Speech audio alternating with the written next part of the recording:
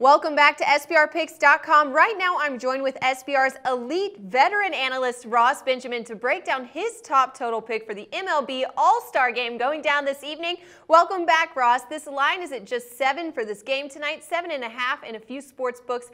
Ross, let's talk about factors we should consider here before making a totals play.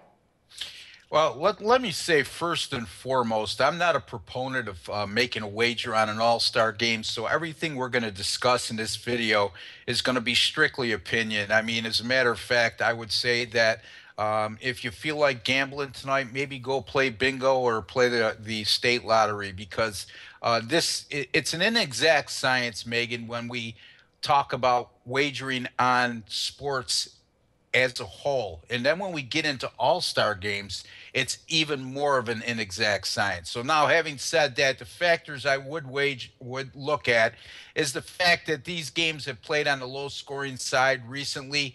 We're looking at four of the last five games have gone under the total. The only exception to that rule has been uh, in last year's game, where the final score was five to three in favor of the American League, and it barely went over the total of seven and a half. The wind will be blowing out to right tonight at 10 miles an hour. Slight factor there. This is a hitter friendly ballpark in Cincinnati, as we saw uh, and witnessed in uh, last night's home run derby. And you also look at the Cincinnati Reds, who have hit 58% of their home runs at home this season as opposed to on the road. So there's those are some of the factors that I look at. And, you know, it, again, Megan, I would highly implore the viewers out there to tread lightly if they're going to make a wager this evening. Well, it's funny you say that, Ross, because there's already been so much betting put on this game. I guess it's just a fun one people really like to uh, pick up on during the season. 61% of the betting public has gone in favor of the over tonight, but what's your play for us this evening, Ross?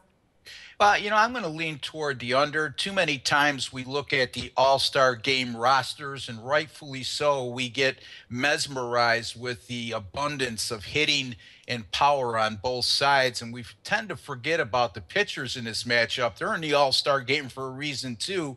And, uh, you know, also the viewers or the betters out there oftentimes say, well, each pitcher doesn't go any more than two innings. Well, even more so, uh, they can be highly effective in that role. I'm going to very small lean, Megan.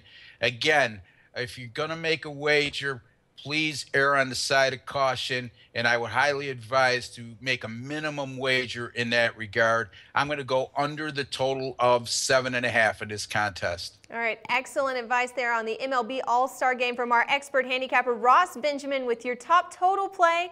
Uh, it's going down this evening, and stick around because Ross is also giving his pick on the money line for tonight's action as well, and you can find that pick in the link below this video for all the best MLB picks all season long. Keep it locked right here with us at Sportsbook Review.